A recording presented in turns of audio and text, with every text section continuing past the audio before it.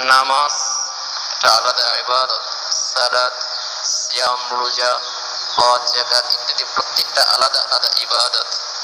দান সৎকার জাকাত ইত্যাদি, এটাও একটা ইবাদত। প্রত্যেকটা ইবাদত তার নিজস্ব পদ্ধতিতে, শর্ত শরত অনুযায়ী সেগুলো গ্রহণযোগ্য হয়ে থাকে। একটা ইবাদতের কারণে আরেকটা ইবাদত গ্রহণযোগ্য হয় না, এমন কোনো বিষয় নয়।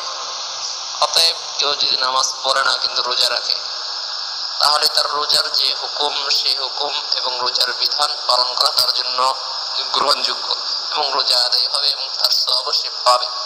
রোজা না রাখলে যে শাস্তি হতো, সে শাস্তি থেকে সে মুক্তি পাবে।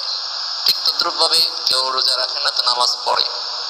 তো নামাজ পড়ার কারণে নামাজের যে ফজিলত এবং নামাজ যে হুকুম, সে হুকুম আদায় হবে। নামাজ না পড়লে যে গুণা হতো, সেই গুণা থেকে সে মুক্ত থাকবে।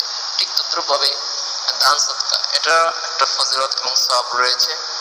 কেউ যদি দান সৎকা করে অন্য এবাদ বন্দি না করে, তো দান সৎকার যে হুকুম এবং তার যে সব সে সব সে পাবে এবং সেটা গ্রহণযোগ্য হবে।